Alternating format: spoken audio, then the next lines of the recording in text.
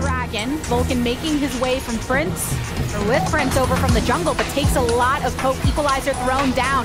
Impact going on to Rich, but that's one stopwatch right there. Stunned over the wall. Spica has left the building. Vulcan eliminated. VicLa popping his watch, but Jensen going for the slaughter. Dignitas, they claim the soul. A triple kill for Jensen. Going in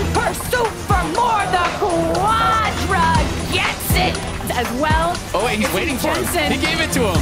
He followed up. He's jamming it over. Penta kill for Jensen. What a weird